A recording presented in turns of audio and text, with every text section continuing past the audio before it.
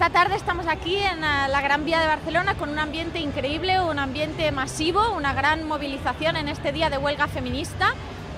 Hoy debería ser un día de fiesta, un día de fiesta por los derechos, por las libertades, por la igualdad conseguida, pero realmente no estamos aquí. Y por eso hacemos huelga, por eso nos manifestamos, por eso salimos de manera más masiva, con la voz más alta, más contundente, para reclamar nuestros derechos, para reclamar una igualdad real entre la mujer y el hombre y para ponernos más firmes que nunca delante de las nuevas amenazas que nos encontramos, de unas nuevas formas de machismo que no dejan de ser uh, lo mismo de siempre, el negacionismo, el fake news y todos aquellos que quieren acabar con las leyes y con las políticas que nos protegen, que no hacen más que estar de lado precisamente de aquellos que nos agreden, que nos oprimen, que nos violan y que nos matan. Venimos a defender las libertades porque todavía hoy nos matan, nos violan, nos hacen tener miedo cuando salimos de casa, cuando volvemos solas y no queremos esto. Tenemos que defender nuestras libertades, defender que queremos ser libres, que queremos ser iguales, que queremos acabar con la brecha salarial, con las diferencias,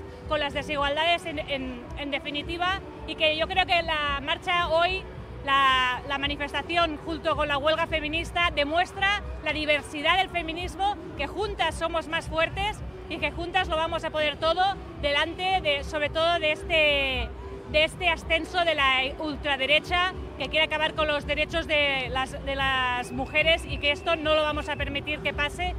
Hoy, 8 de marzo, las mujeres uh, tomamos la palabra, las mujeres nos visibilizamos, las mujeres nos reivindicamos y de hecho celebramos esta movilización masiva, esta huelga que está siendo un éxito, esta huelga feminista, como tiene que ser porque es urgente y es imprescindible, imprescindible que haya esta igualdad entre mujeres y entre hombres, es, imprescindible que se termine uh, con la desigualdad, con la discriminación y que se termine de una vez uh, por todas con el machismo. Por lo tanto, desde Esquerra Republicana seguimos comprometidos y trabajando para construir esta República Catalana que tiene que ser feminista, que queremos que sea feminista, que no puede ser de otra manera.